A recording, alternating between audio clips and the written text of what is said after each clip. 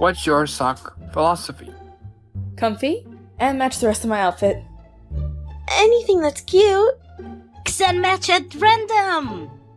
Dozens of pairs, all in the same style and color. Same pairs every day. And you're gonna wash them often, right? Um, Right, Hunter?